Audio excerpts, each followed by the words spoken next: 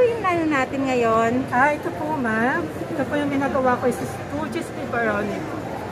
Ma'am, ilang, ilang, ilang variants yung pinagsasabay-sabay mong gawin?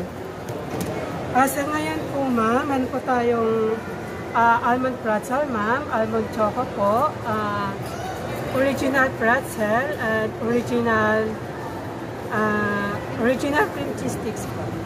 Ma'am, anong lang? Ano yung, ito, ano, yung, ano pong tawag dito? Ayan ma'am, ayan po yung dough namin na nakamix Ah, na yung po. dough. After Opo. yung gawin yung dough, filling nan. Ah, Lalagyan ng fillings. ah, yes ma'am, na Tapos, po. ah, ano po itong banda dito? Ito naman po yung ma'am, yung dipping solution po namin ma'am. Ah, dipping para po solution. po- para po sa flavoring namin ma'am, Ah, para po okay. tumatitin yung flavor ng almond. After po niyan, ilang minutes po sa oven? Ah, 7 to 10 minutes ma'am, depende po sa flavor ng pretzel po. Thank you po.